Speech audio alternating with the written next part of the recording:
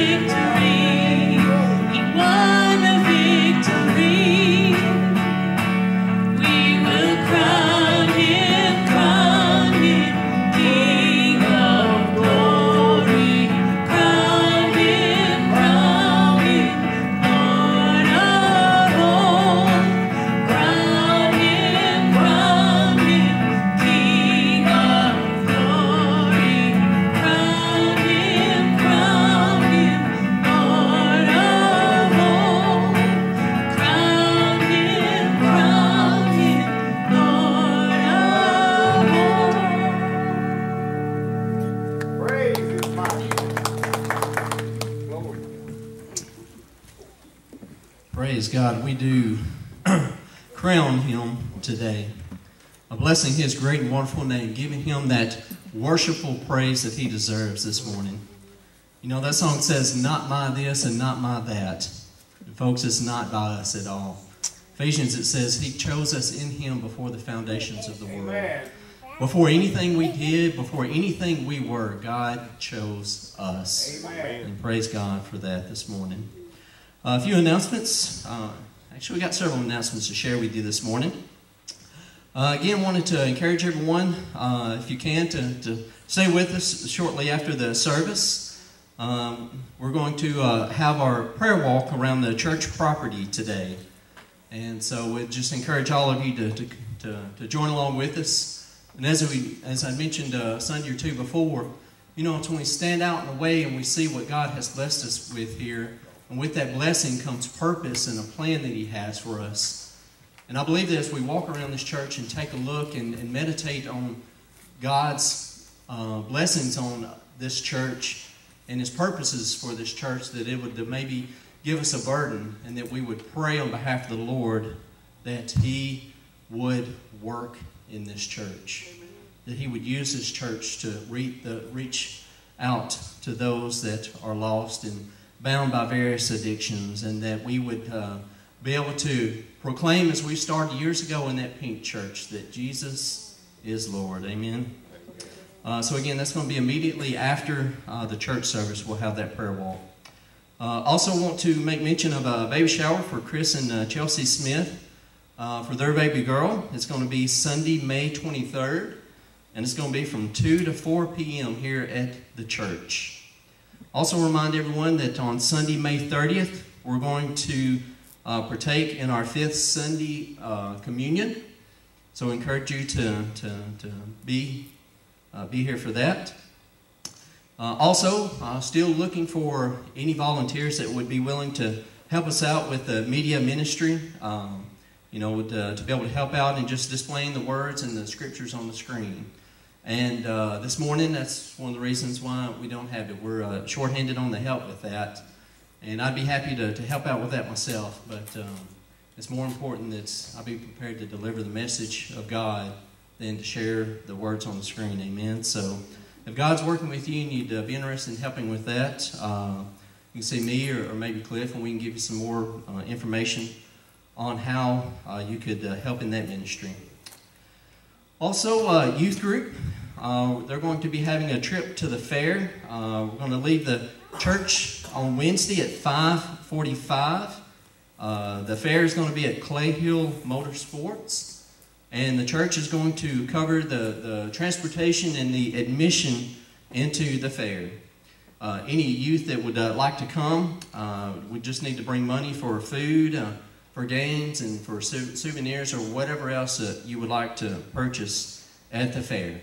So again, that's going to be uh, Wednesday, uh, leaving at 5:45, and transportation and admission is going to be covered there. Pastor Jason. Yes. They'll need a permission slip signed, and we've got copies for them. Okay, okay. Uh, permission slips. Uh, if you would like to go, we need to make sure to get a permission slip filled out from you uh, by your family. And Miss Pam said that she's got some up here in the front so you can see her and she can get one of those in your hands. Also, our 12 steps uh, uh, for Celebrate Recovery. Uh, it's going to resume tonight, looking at lesson four in sanity. And the scripture for that is. Um, in Colossians 3.16, let the message of Christ dwell in you richly. So again, uh, celebrate recovery tonight. Uh, if you can and, are able to, I'd encourage you to come out uh, and participate in that. And lastly, Operation Christmas Child. Uh, for this month of May, we're still continuing to collect hairbrushes and combs. So again, we thank you for your continued uh, prayers and support in that ministry to share the, the gospel with uh, um, uh, families abroad. Amen. If you will, uh, let's go, Lord, in prayer, and uh, we'll just thank Him for richly blessing us with uh, uh, being in His presence today, and just thank Him for what He's going to do in this place. Let, us go, Lord, in prayer. Father in heaven, Lord, we are so tremendously blessed, Father. Lord, and I pray, Lord, that your Spirit would open up our heart and our soul and our understanding, Father, to know and to recognize how truly blessed we are, Father, to be in the house of worship today, Father. To openly and freely raise hands of praise and worship to you, to raise a voice of praise, of, of honor and glory to you in this place, Father.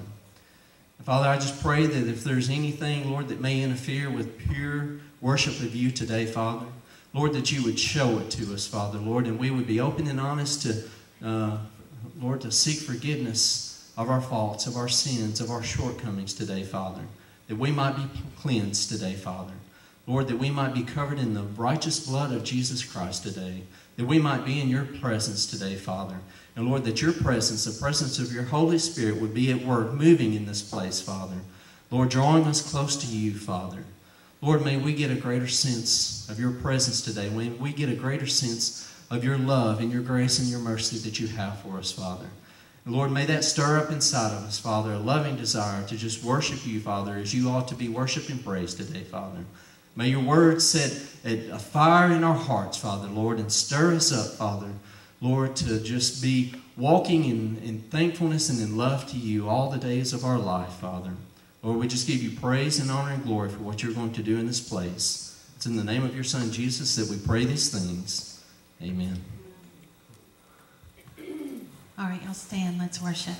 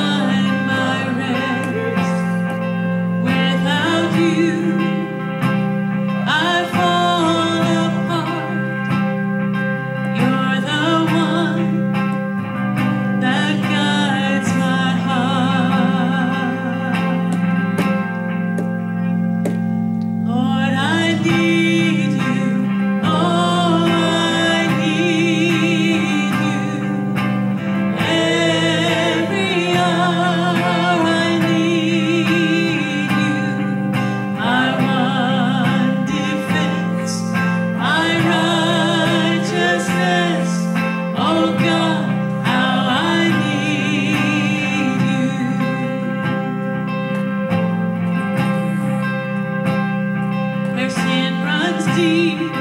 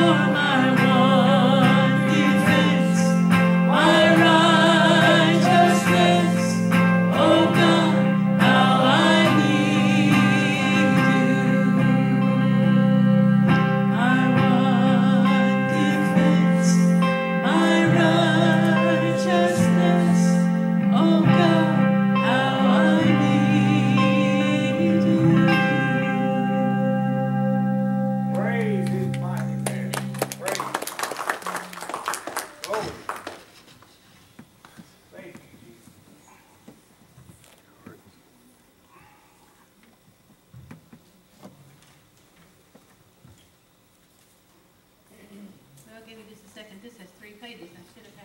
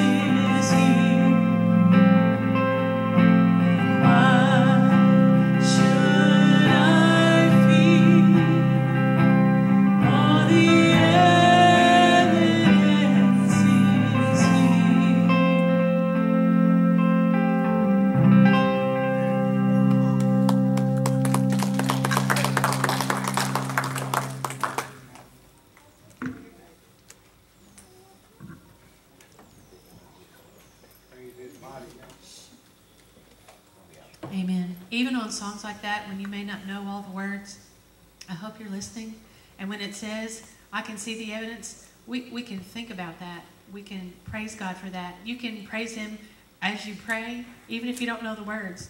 Thank you, Lord, for whatever. List off those things while, while the words are being sung, even if you don't know them. Um, and, and you can still worship as you focus on Him and what He's done in your life. It's um, I, our lives are so busy we don't stop often, and so if we can if we can just close in with just us and God and worship, it, it really makes a difference. Yes.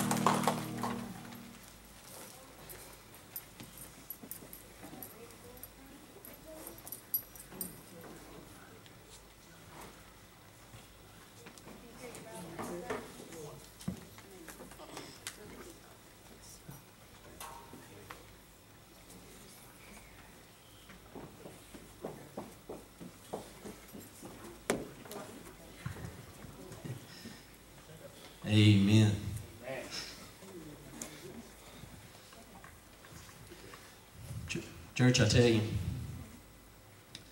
I just um, I've just seen in these last couple of Sundays how God is working and, and changing and, and challenging us to what church is really all about. You know, it's not about the routine of getting dressed and coming in and sitting in the pew and singing a few songs and hearing a couple of scriptures spoken to you, but it's about coming in here and having heartfelt praise and worship to God. I don't know of any Bible dictionary I can look up at and see what the meaning of praise and worship is. But praise and worship is about coming into the house of God and acknowledging when we sing these songs of God and His greatness and goodness. And we reflect on those and we think about who God is, how great God is, and what great mercy that God has towards us, and it moves us to have an utterance of our mouth, whatever that may be, whether it's a repetition of the songs that's being sung or if it's just you speaking directly to God what's on your heart. That's praise and worship. If I look in the dictionary, I, I don't, I don't think I'll find praise and worship being singing along to words on the screen. I think that definition falls more along in lines of karaoke. Amen. We're not here for karaoke. We're here for pure praise and worship of Him. And I felt that in this place today, words or not. Well, I got to change my process up here too. I don't have a need to call for the children to come up front because they done beat me to it. Amen. Praise God for all the little ones we have here and uh, so many faces here before us. And it's such a joy to see them here, just uh, anxiously waiting to gather together and to learn of God. And um, I just pray that uh, as they gather together, that we join together and uh, ask God or thank God for His blessings on them and what He's going to do as they gather together to learn of Him. Join with me. Let's lift up these children to the Lord and uh, thank Him for them and what He's going to do as they gather together. Father in heaven, Lord, such precious souls that we have here before us, Father. And Lord, how precious they are in your eyes, Father. And Lord, we know with all confidence, Father, Lord, that as they hear the truth of your word spoken to them, Father, Lord, that their spirit and in their mind, Lord, that you would grant them wisdom, Father, to know the vastness of your great love for them, Father. And Lord, we thank you that as they grow in that understanding, Father, that they would grow in love and faithfulness and trustworthiness to you, Father. Lord, that they would live a life of loving obedience to you, Father. Lord, that they would walk with you all the days of their life, Father. And Lord, that you would go with them and that you would go before them, Father, leading and guiding their steps, Father. Lord, that their lives may be lived in a manner that would bring honor and glory to you, Father. Lord, and that stop, starts here today. Lord, anoint the teachers. Anoint them, Father, to speak and to hear your words of life, your words of truth today. Father, we ask your blessings over our tithes and offerings. Lord, we give to you, Father, with joy and thanksgiving in our hearts, Father. Lord, that may be pleasing in your sight, Father, that your blessings may be upon our offering and our tithes to you today, Father, to multiply it and to use it bring honor and glory to your wonderful name. And it's in the name of Jesus Christ we pray. Amen.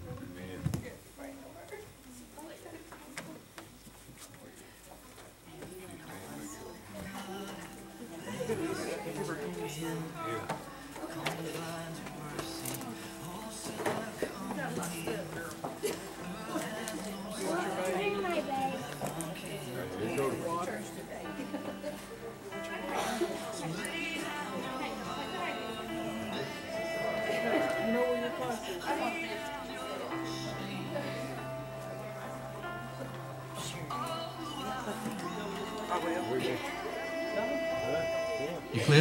get you to hit my mic for me?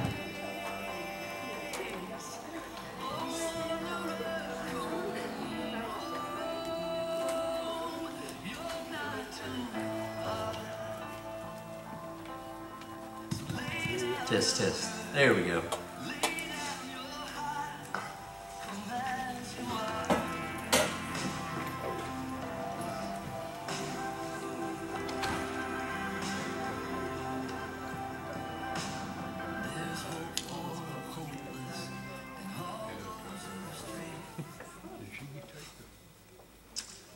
Praise God, our Father in heaven.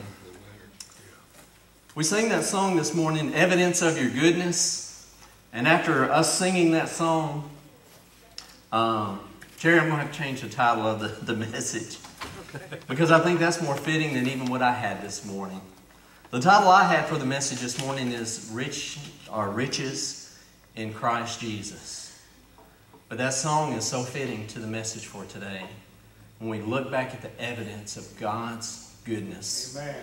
in our lives. And I pray that as we look at this today, that God would stir up inside of us and just open up our understanding through the truth of His Word about how rich and how evident the blessings of God are in all of our lives. Not just material blessings, but spiritual blessings in heavenly places this morning. If you got your Bibles, uh, I'd like for you to turn along with me to Ephesians uh, chapter 1 and verse 3. Uh, we're going to spend the majority of our time this morning in the first chapter of Ephesians. But we're going to start out, oh, we're going to open up with uh, verse, three, uh, verse 3. Ephesians chapter 1 and verse 3.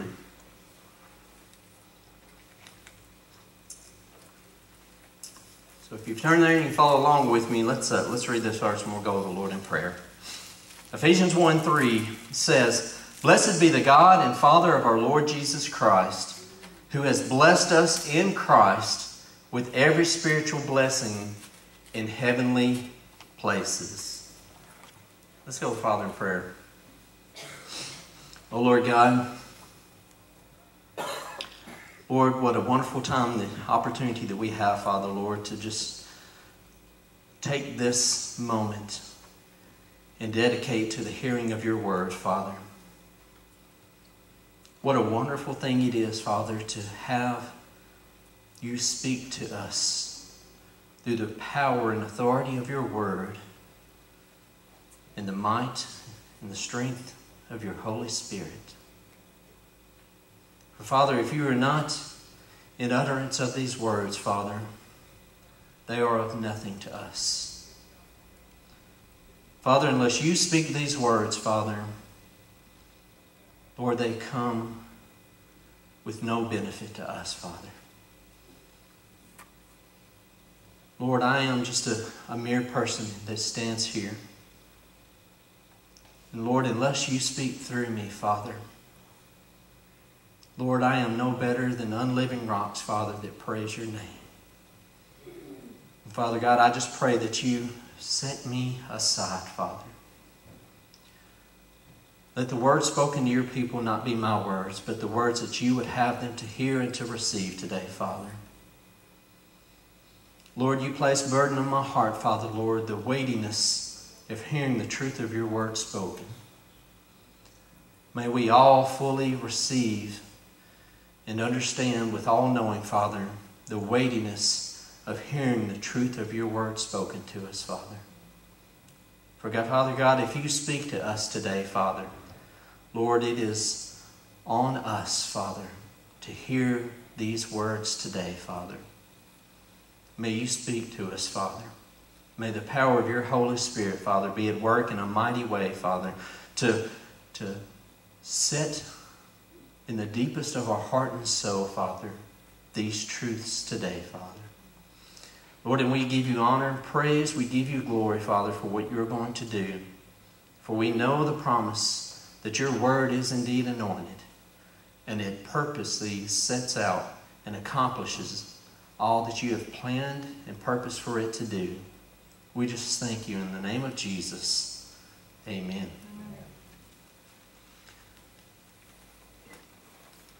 So I was reading through the Bible today, and I was in several different places and um, asking the Lord for guidance and direction on where we would go for the message this morning. And I'd been into several different places. I had uh, spent a little time in Romans, and uh, I actually got into uh, Deuteronomy for a good while this week, uh, looking around uh, chapters 5 and chapter 6 in Deuteronomy. But later on in the week, God moved me to the book of Ephesians. And as I read through the book of Ephesians, my soul just got stirred up with enjoyment and uh, just overwhelming joy of knowing the riches in Christ that we as believers have in Him. And so I want to take a look and break down this very first chapter of Ephesians. And then I pray that as we do, that God would help all of us to see this morning just how rich and how evident the goodness of God is in our life. Just how abundant and amazing the blessings of God are in the life of those that believe and have faith in His Son Jesus Christ this morning. So starting out there, let's take a let's back up a couple of verses and we'll start at the very beginning of Ephesians here in Ephesians chapter 1 and verse 2. And it says, Paul, an apostle of Jesus Christ by the will of God, to the saints which are at Ephesus, and to the faithful in Christ Jesus, grace be to you and peace from God our Father and from the Lord Jesus Christ. Now, as you may well know, Paul had written many different letters to several different churches.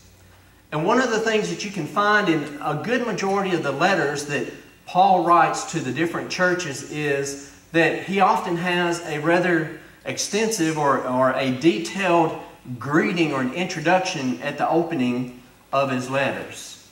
He often greets specific churches and he, and he writes greetings to specific people within the churches a lot of times. But something a little different is taking place here in Ephesians. At this introduction that we see in verses 1 and 2, really about the only thing that we see is Paul introducing himself. And he goes on to say, Paul. He names who he is, and then he goes to list his credentials an apostle of Jesus Christ by the will of God. So I think Paul here is uh, ascribing himself is that he is there. He in in writing this letter to them, and Paul, who had spent quite some time with the Ephesians, is saying here that he is an apostle by the will and the calling of God. He's not just some apostle because that's the profession that he chose that he liked that that's not what he decided to make his career out of. That he is apostle of the Lord Jesus Christ by his calling. And then he goes on to say, to the saints in Ephesus and the faithful in Christ. Now, doing a little background study of an Ephesians and looking at the history, there's something very interesting that I find that to me is actually quite amazing. If you go back and you do some research and you actually look at the early manuscripts of the Ephesians letter that Paul wrote, you'll, you'll find in some of those manuscripts that are copied that there's a blank space in there. Where it says, to the saints in Ephesus, some of those manuscripts are blank there. And when you read those particular manuscripts, it says, and to the saints, to the faithful in Christ Jesus. And looking at this particular part here, it leads question to believe that uh, the church of Ephesus, it was a very prominent and key part of the early church establishment and the proclamation of the gospel of Jesus Christ. The church at Ephesus was a major point and a center point for the establishment of the early church. And the church of Ephesus, Ephesus was personal to Paul because Paul not only was a missionary to Ephesus, but he was a pastor there. He spent some part of three years there pastoring and preaching the Word of God in this city. And so one of the things is, is, that's led to believe that over time this gap that was found in the early manuscripts was filled in with the assumption that the church that the letter was to the church at that it was to the Ephesians church. But with that gap being there, it raises questions that, and there's some other evidence there that maybe so much that this letter wasn't directly, directly for just the church in Ephesus, but it was for many churches. And you can actually find evidence of this letter being sent to other churches. There's evidence of it being sent to Laodicea and some other churches. And one of the other key things that you see in this letter is that uh, you won't find at the end of Paul's letter to the Ephesians church the specific greetings or the, the salutations uh, of particular individuals within that church that you often see in some of the other letters. So it gives rise to the possibility that this letter was not only intended for the Ephesian church, but it was intended for other churches, many other churches. But whether it was directly purposed for other churches of that time, one thing I know for sure that this letter being in the Word of God and the timeless truths that it provides is in the Word of God for the church today. Amen. The words in this letter that are in the words of that is in the Holy Scriptures, that is in the Bible, is in the Word of God, is for our purpose to hear today. And it goes on to say, this letter is to all the saints that are faithful in Christ. It is for those that are believers. It is for the church of Christ. And then it goes on into verses 3 and 14, and Paul excitingly begins to make a proclamation. And I say it excitingly because there's another very interesting thing that happens here in the first chapter of Ephesians. Is that when you look at it, and again, you do a little bit of study of the original manuscript of when Paul wrote this. One of the interesting things that I found out is that in Ephesians, the first two verses is his introduction. And then when Paul goes on to speak these next verses, in verses 3 through 14, they're broken down in different verses for us in the Bible today. But in the original manuscripts, verses 3 through 14 was one sentence. How many of you know what a run on sentence is? I think if there was a Guinness book and during that time, I think Paul might have uh, had the, the Guinness record up to his time for the longest run on sentence that ever might have been spoken, that might have ever been written down. But man, some 14, some 11 or 12 verses all spoken as one sentence, as though Paul was so excited to share these next verses that we see in the Bible that he just kept on talking. As though not even taking a breath, but just he, he was so anxious to tell all that God had spoken to him in that letter that as that scribe sat down there and was writing, Paul began to speak. We see verses 3, 4, and 5, and 6, and that scribe's like, Man, I wish he'd hurry up and take a breath so I'd have a second to catch up. But it was just as one sentence because Paul seemingly was so anxious to share this next part with the churches that were to receive this letter. And with that anticipation and that anxiety and that joy that he had of sharing this, I believe that that, that same joy is to us today to receive the word spoken in these next verses. Now, I'm not a man of big lungs, so I have no way can share all of this in one breath. But I want to share with you in the fullness, verses 3 through 14, of what is written in this letter. Starting in verse 3, it says, Blessed be to God and Father of our Lord Jesus Christ, who has blessed us in Christ with every spiritual blessing in the heavenly places, even as he chose us in him before the foundation of the world that we should be holy and blameless before Him. In love, He predestined us for adoption to Himself as sons through Jesus Christ, according to the purpose of His will, to the praise of his glorious grace, with which he has blessed us in the beloved. In him we have redemption through his blood, the forgiveness of our trespasses, according to the riches of his grace, which he lavished upon us in all wisdom and insight, making known to us the mystery of his will, according to his purpose, which he set forth in Christ as a plan for the fullness of time to unite all things in Him, things in heaven and things on earth.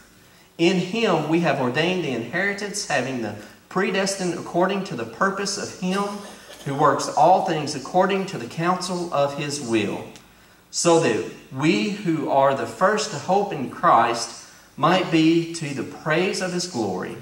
In Him you also, when you heard the word of truth, the gospel of your salvation, and believed in Him, were sealed with the promised Holy Spirit, who is the guarantee, the guarantee of our inheritance until we acquire possession of it to the praise of His glory. Amen. Pause to catch my breath before I faint. Can't imagine that being one sentence. But Paul, in his, in his joy in his anticipation to share such goodness, just continued to, to speak all of this out as though it was one sentence. And again, I sure feel sorry for that scribe that had to try to keep up with him as he was speaking these words.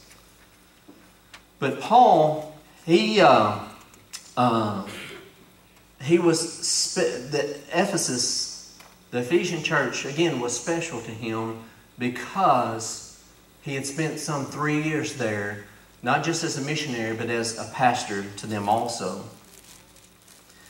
And one of the things that I want us to see about this is in these verses, what we see here is we see a breakdown of the, the fullness and the riches of God's blessing in our life. Now, when we just once over it and just read it as I had just read it, you may not have been able to catch the fullness of why Paul was so joyous to share this message in this letter to the churches. So, what all is in this that makes it such a joy for Paul to speak and for us to receive today? Well, I'm glad you asked me. We're going to take a look at it and see. There's three things that we see in this is that in verses again 3 through 14, it's one long sentence. And Paul is so excited in speaking this, it seems.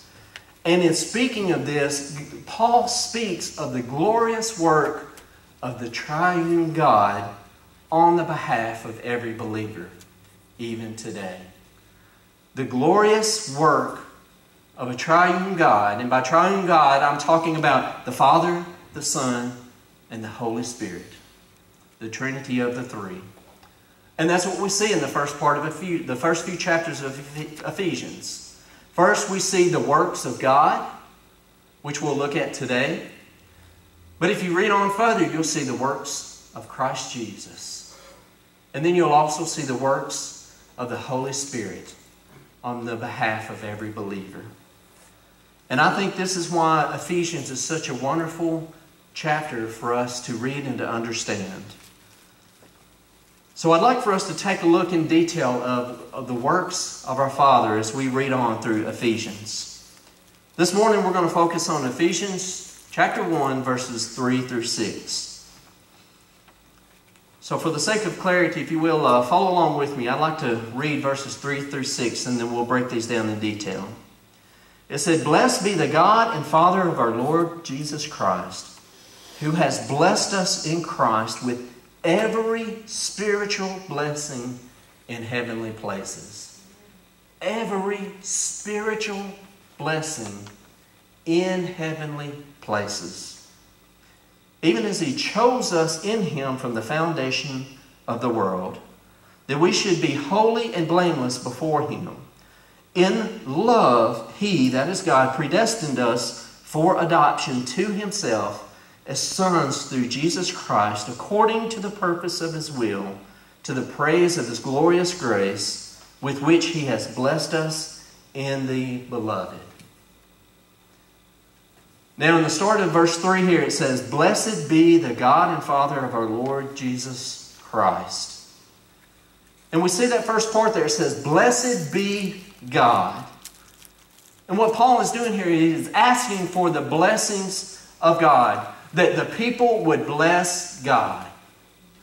Now, what do you think of when you think of blessing someone? You say, God, oh, God bless that person. Bless that poor child, as though, as though you are granting a blessing unto them.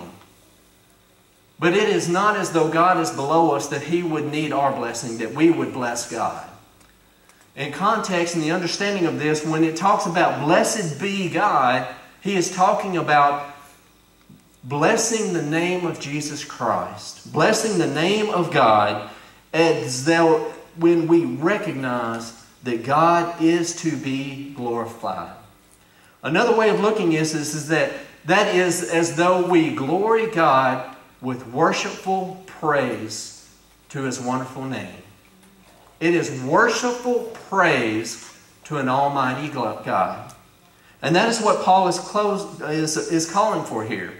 When he said, Blessed be God, he is calling for the church to worshipfully praise and to glorify the name of God. And so the question here is okay, well, he's calling for the people to worshipfully praise God. Well, why would they do that? We see that uh, continuing on in this verse. Why should we bless God? And we recognize that God has already blessed believers. It says, uh, Blessed be the God. And then it goes on to say, Who has blessed us in Christ with every spiritual blessing in the heavenly places. We bless God in knowing the great riches of His blessings towards us. It is having that thanksgiving and that gratitude and that, that joy in Father God for the many rich blessings that He that we recognize He has bestowed upon us. We recognize that God has already blessed believers. So I'll stop there for just a moment to ask you personally do you recognize the blessings that you as a believer have in Almighty God?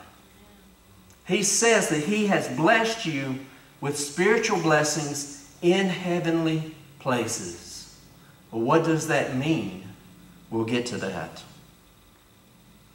We understand that God, that we are created in God's image. How is it that we are able to comprehend that a great and glorious God in heaven above has blessed us with everything, not only that we have on earth, but He has blessed us with spiritual blessings? How are we able to identify that? How are we able to recognize that and associate with that understanding? It all comes down to the fact that God has created us in His image. And because we are created in the image of God, we have that, that comprehension and that understanding of who God is and what He has done for us.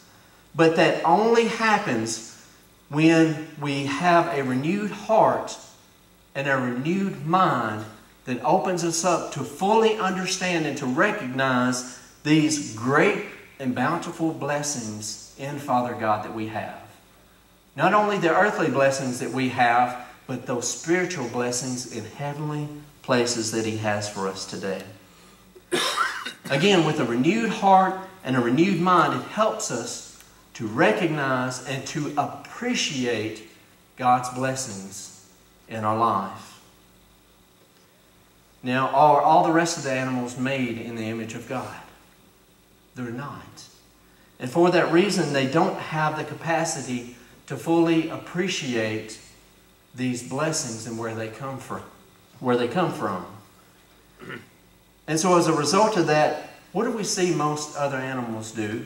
What is the life cycle that we see out of the, the, the typical life that we see in most other animals? They eat, they sleep. They may have different forms of ways to entertain themselves throughout their life, and they have that natural um, um, desire to, to procreate and to reproduce. But that's the majority of what you see in um, typical animals, is to eat, to sleep, um, to entertain themselves, and to reproduce. And if we fail to recognize, if we fail to appreciate God's blessings in our life, then we reduce ourselves to living no different than any other animals in this world. Is that not what we see through, through those who deny God and they live their lives as though there is no God?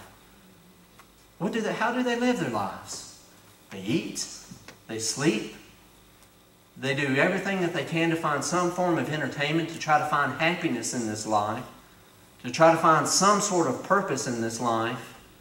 And they also have that innate um, design built within them to reproduce. It's not much different than any other animal. And if we fail to recognize and appreciate God's blessings, we reduce ourselves to living no different than animals. So, why is it that we bless God? It is not just for flattery to God. It is not like, oh, God, you're so great. Have you ever been around somebody that was somebody in, in, in this world, maybe? Somebody that was real famous or, or real rich that was high in social stature, maybe? Or you see how other people act around them and they're like, "Ooh, you know, you're so good, you're so cool. And and they do that as a form of flattery to those people. And I wouldn't so much call those people uh, a worshiper as more of a suck up to them, maybe. But it is not for mere flattery that this worshipful praise towards God comes from an assured attitude of being blessed by God.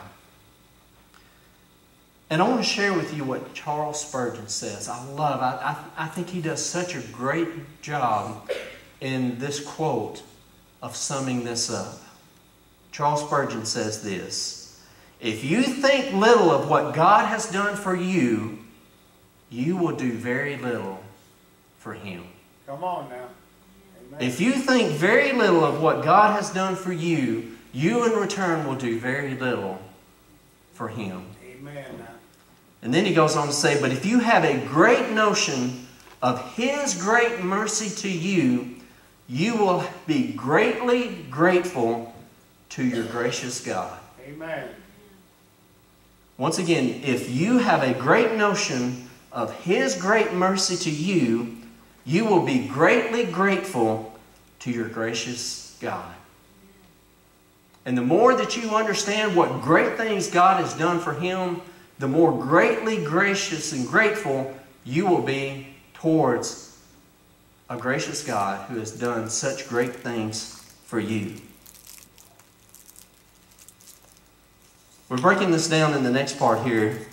Uh, we see, uh, Blessed be God and Father of our Lord Jesus Christ, who has blessed us in Christ with every spiritual blessing. And this speaks volumes. Do you understand today that every blessing that you have on this earth is a blessing from God? The clothes on your back, the food that you may have in your pantry, even the, the breath in your lungs, the car that you had to get here, the home that you have to live in, all of those things are earthly blessings that God has Amen. given to everyone. Come on, yes. Because Jesus is Lord. Glory. He provides, listen, for all. And when I say all, I am referring to both believers and unbelievers. Even those who deny God, the existence of God, even those who deny Jesus Christ as their Lord and Savior, even though they may walk in selfishness and self centeredness, even though a person may walk in rebellion in rejection to Jesus Christ, God is still Lord over them.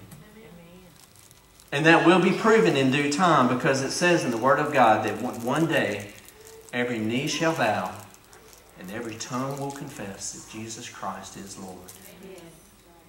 They may deny Him today, but they will acknowledge one day the fact that stands today that Jesus Christ is Lord. Amen. And as Lord, He provides for all of mankind. Everything that a person has, even the very breath in unbelievers, even the very heartbeat of unbelievers, comes from the Lordship and a blessing from our Heavenly Father. So whether you believe or don't believe, God blesses with earthly blessings. But for those who believe, the blessings go much beyond that. And they go to spiritual blessings. So God blesses us all with earthly needs, but much greater are God's spiritual blessings that are in heavenly places. You know, it's a great blessing to have a new coat on a cold day, to have that earthly blessing of a new coat. But let me tell you something, it does not compare to being spiritually blessed with a renewed heart.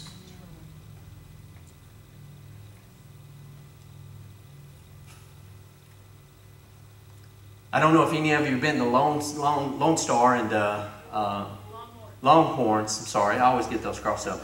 I don't know if any of you have ever been to Longhorn and had the Wild West shrimp that's there. But uh, sorry, not to not to get some saliva stirring in the mouth this morning. But for me personally, I love to go to Longhorns and eat the Wild West shrimp appetizer that they have there. To me, that is some good food to eat. And that good food is a blessing from God that He's allowed me to be able to enjoy. But to have that earthly blessing of a good meal does not compare to that spiritual blessing of being fed by the Word of God. We might be able to enjoy a glass of sweet tea on a Sunday afternoon, but that doesn't compare to the spiritual blessing of getting uh, um, hydrated spiritually by that living water. Spiritual blessings. And you know, I'm thankful for that piece of land that I have in Milan, Tennessee that I call home. That is an earthly blessing that God has given us, and I'm so very thankful for it. But you know, that does not compare to the spiritual blessing of having a home prepared and ready for me in the promised land this morning. God blesses all with earthly blessings, but so much greater are the spiritual blessings that He has on all who believe in Christ Jesus. Amen. And these blessings that we have, there's a big difference between having earthly blessings and spiritual blessings. Amen. And this is pointed out when it talks about it, it says, every spiritual blessing in heavenly places. What does it mean to have these spiritual blessings in heavenly places? Those spiritual blessings that God has for all who believe this morning, they are secured in the hands of a heavenly Father in heaven. They are secured. They are there. You will have them. They're not like the fragile and temporary earthly blessings that we may have here in this world today. I mentioned about having the blessing of a car. You may be blessed to have a car this morning. God willing, and I pray it doesn't happen, but a tree may fall out there right now and crush that car and it'd be gone. We may have a house that God has blessed us with, but that is an earthly blessing. Something could happen and it could catch on fire and be gone at any moment. But the spiritual blessings that God has blessed us with and is blessing us with, they are secure and for us in heaven. And it goes on to say, even as he chose in him before the foundation of the world. Paul was compelled here to make mention of the greatest spiritual blessing of all Paul, in his joy and his anxiousness of talking about what great spiritual blessings we have in heaven, he goes on to give us an example of the greatest blessing, spiritual blessing that we have. And that is the blessing that God has chose us. That all of those who believe in Christ Jesus, God has chosen. So, believers that are here today, do you realize and you acknowledge that God chose you? Amen. That you are chosen of God for salvation and for spiritual blessings. But I also ask you, if you're here today and you have not believed upon Jesus Christ as your Lord and Savior, if the conviction of the Holy Spirit is working on you right now, God, this moment and this day is choosing you for salvation. He's choosing you for those spiritual blessings.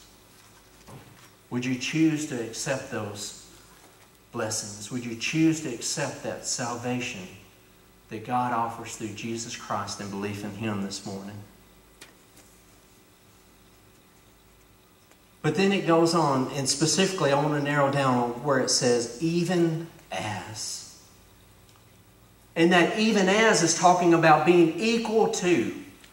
He's saying that the, the, the guarantee of these spiritual blessings that God has for us is assured to us just as much as salvation is to all who believe. Do you believe this morning that the Word of God, when it says that all who believe and come to faith and trust in Jesus Christ as their Lord and Savior shall be saved? Amen. How assured are you of that promise of God this morning? Come on. If you are assured of that, you can be just as assured of the spiritual blessings in these heavenly places that God has for you this morning.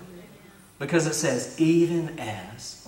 It compares that assurance of spiritual blessings to the assurance of salvation through faith in Christ Jesus. And then it goes on to say, chose us in Him. Why were you chosen? You weren't chosen because you had some greater qualities than somebody else. It wasn't because you were better than anybody else on this earth. God chose you because it was His pleasure to do so. There was nothing specific or unique that we can point to saying that, oh, I'm better than brother or sister so and so, and that's why God chose me and not them. God, God chose who He chose because He already knew. He's the Alpha and the Omega. He knows the beginning from the end. And He chose who He chose because He already knows who is going to choose Christ Jesus. It was solely for the pleasure of God's will that He chose whom He made. And then it goes on to say that we should be holy and blameless before Him in love. And when we read this, I pray that you understand this morning, church, that you were not just chosen for salvation. God didn't just choose you to save you, He chose you for holiness towards Him. And this holiness that, that we should, as believers, walk in, it should be driven and sourced out of love for God.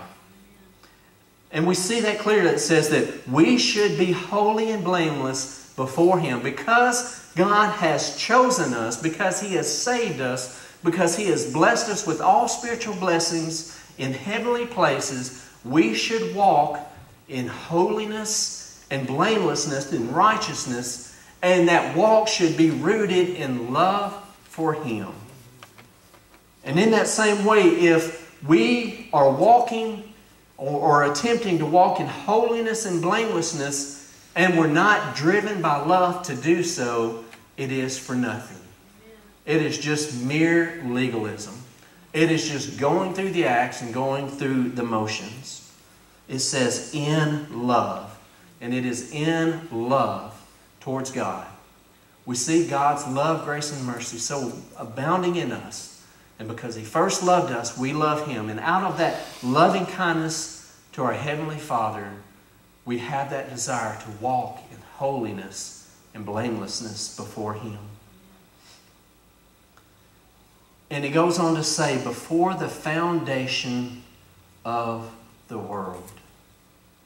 And I mentioned this before we opened up the service that, that we as believers, that we are chosen of God according to God's free and perfect will.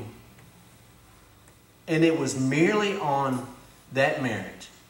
It was only and solely because it was God's free and perfect will to choose you, to choose me, to choose all who believe. It had nothing at all to do with us. And we see that in the next couple of um, phrases here. It says, before the foundation of the world. Before the foundation of the world. Believers are chosen of God according to His free and perfect will. He chose me before I ever did anything, before I ever even was anything. God had made a decision before the foundation of the world that me, Jason Tilley, would be chosen by Him to be saved and to receive spiritual blessings. All of you here today that walk in faith and trust in Jesus Christ, that are born again believers, God chose you before the foundations of the world were ever laid. He chose you to save you and to bless you richly with all the spiritual blessings in heavenly places this morning. And it is in the same way that believers are chosen to, to have the spiritual blessing. And I love this next part here. He goes on to say, He predestined us for adoption to Himself as sons through Jesus Christ, according to the purpose of His will. And if you were to ask me specifically, what is it about me that God chose? And I would have to say to you, I can't specifically give you the answer of what it is about you that God chose you. But every choice that God made, every person that God chose, I can say with all assurance that they were chosen because it was God's purpose and God's plan. We aren't just some random number picked out of a hat. And I praise God for that because I'm always get the bad luck of the draw every time. We weren't just some random number that was pulled out of a hat, that it was for a plan that God purposely and intentionally chose all who believe. And again, as I mentioned previously, God is the Alpha and the Omega. He knows the beginning from the end. And He knew who all to be chosen for His good pleasure and for His perfect plan. So we see that, that He has predestined us. He had predestined us for what? For adoption. And we understand what adoption is today, but we need to understand what adoption meant in the context of the time that this letter was wrote. In the time of Roman law, adoption meant something considerably different than what we understand adoption to be today. And today, whenever you adopt a child from another family, there is maybe still some association.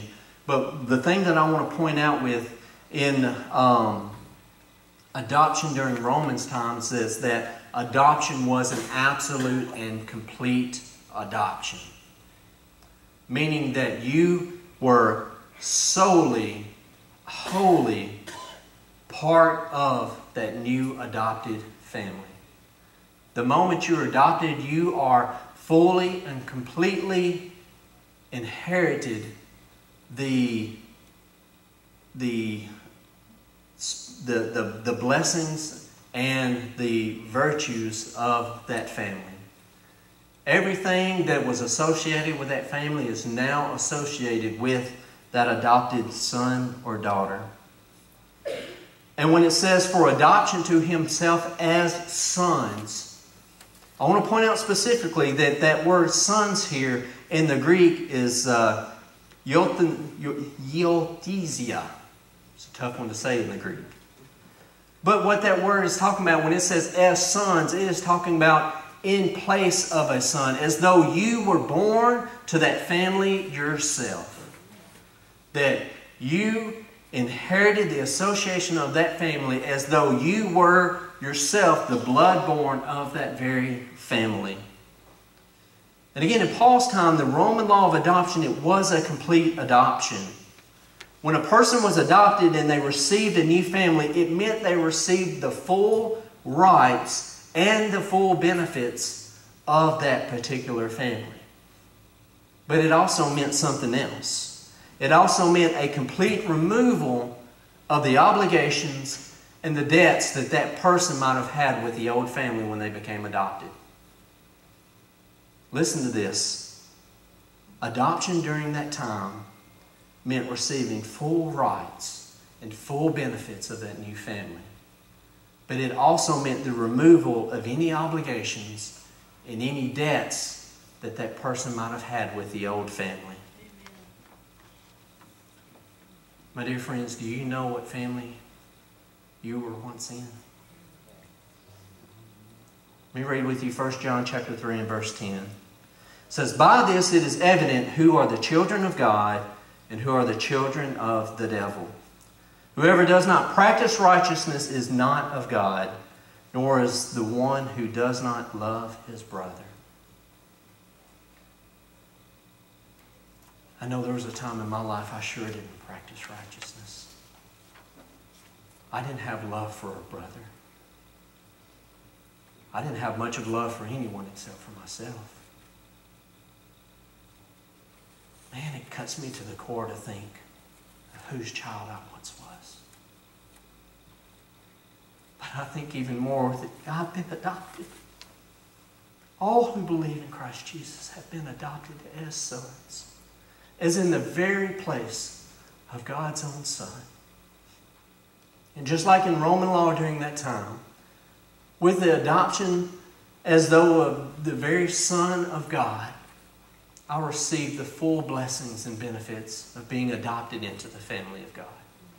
But not only that, the obligations and debt and the slavery to sin that I have, I was set free of. For I am no longer of that old family, but of now a new person, a new child in the family of God. What a blessing that no longer uh, in bondage and in debt of sin as we once were as carnal children in the world.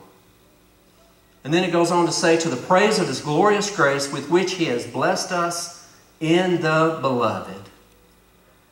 And I love that word blessed here because when you look it up and, and you see it in the original Greek, it's charut.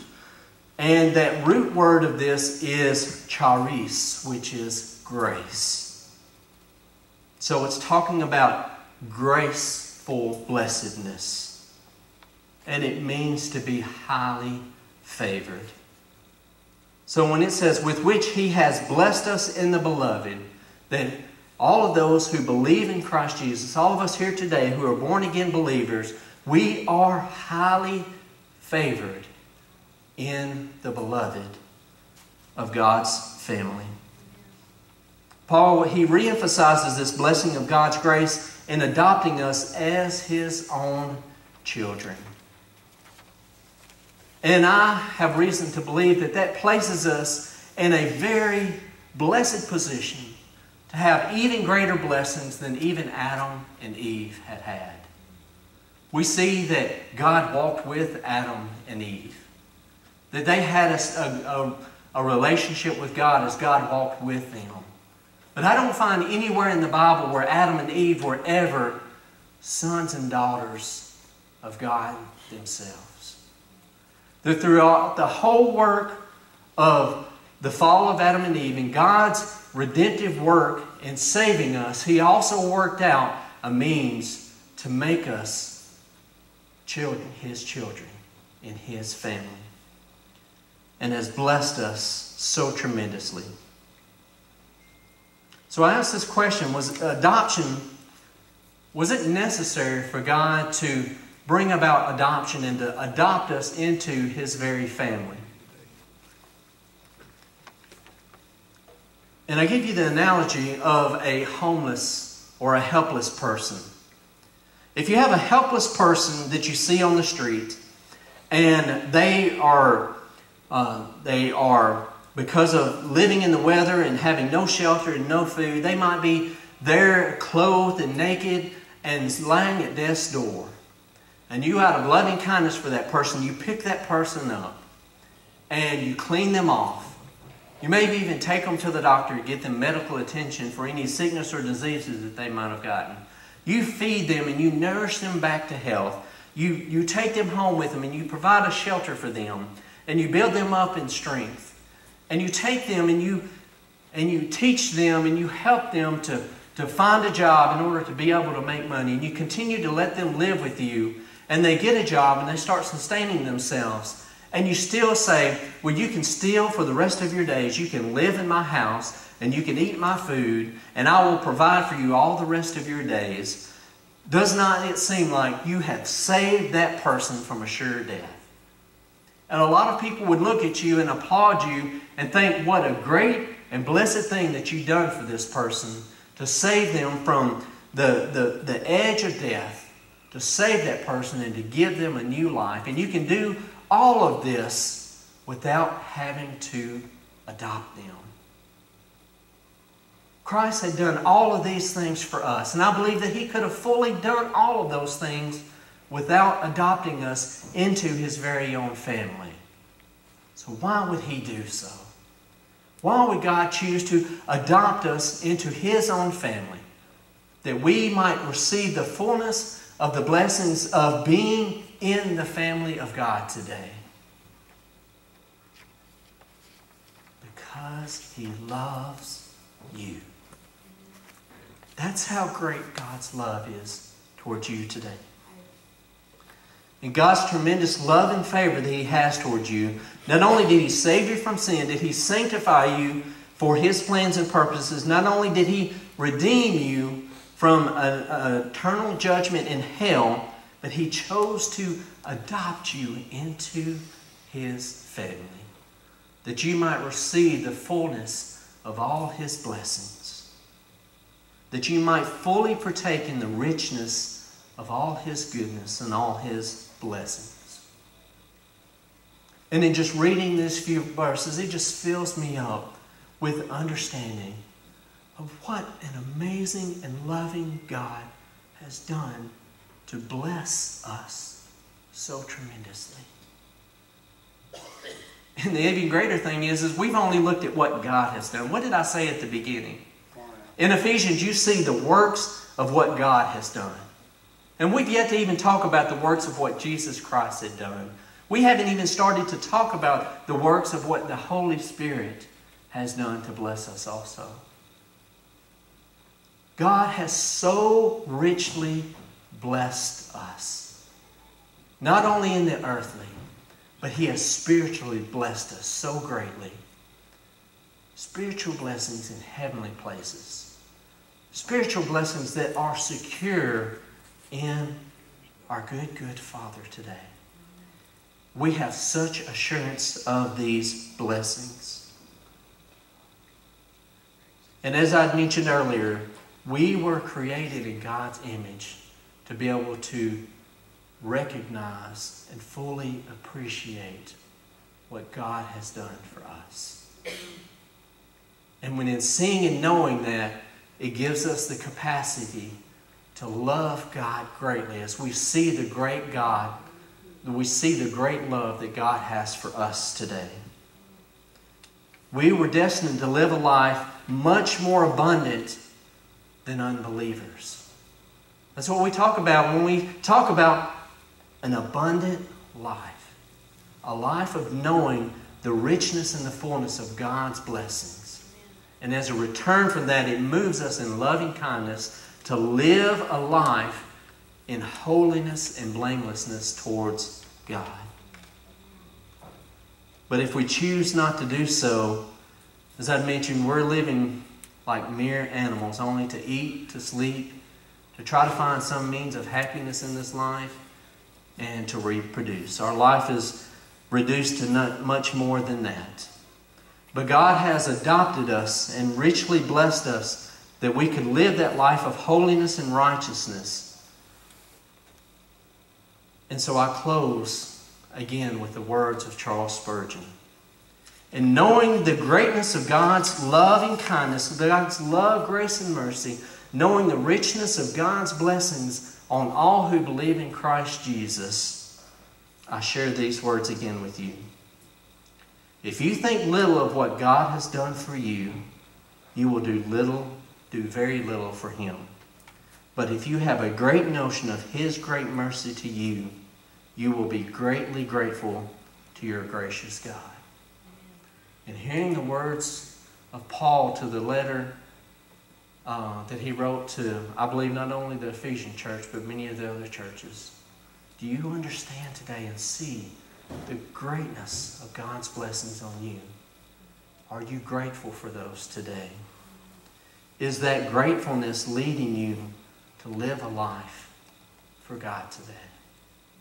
If you would, please stand with me this morning.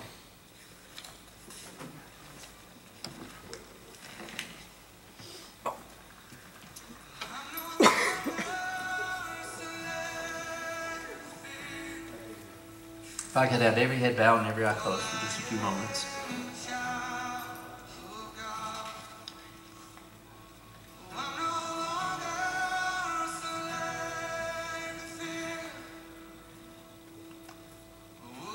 These great blessings, not only earthly blessings, but spiritual blessings that we spoke out today, particularly the spiritual blessings, God has for those whom He had chosen not only for salvation, but for these blessings.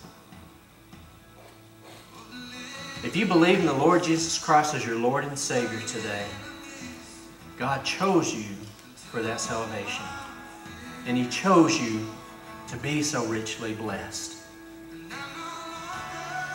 But if you are here today and you have not accepted Jesus Christ as your Lord and Savior, if the Spirit of God is stirring inside of you and you feel that conviction of your great need to accept Jesus Christ as your Lord and Savior, that is God Himself choosing you this day.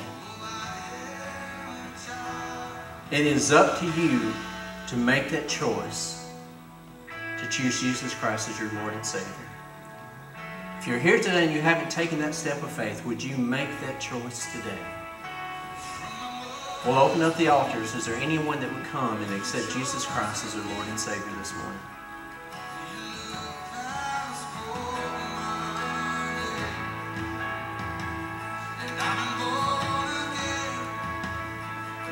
Did you make that choice today?